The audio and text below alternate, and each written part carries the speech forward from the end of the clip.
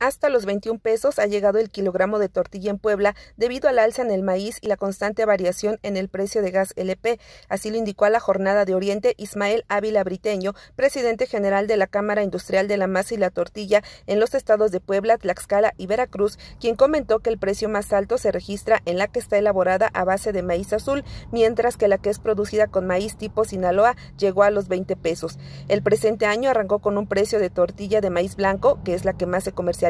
de entre 15 y 17 pesos, lo que significa que ha incrementado en poco más de tres meses en un rango que va del 17.6 al 33.3%. Ismael Ávila agregó que lo que más le está impactando al sector que representa es el precio de maíz, el tipo Sinaloa, que es el que más ocupan, mismo que les venden desde 7.800 por tonelada hasta 8.900 pesos. Explicó que si bien este grano ha subido por el conflicto entre Rusia y Ucrania, lo cierto es que hay quienes lo están acaparando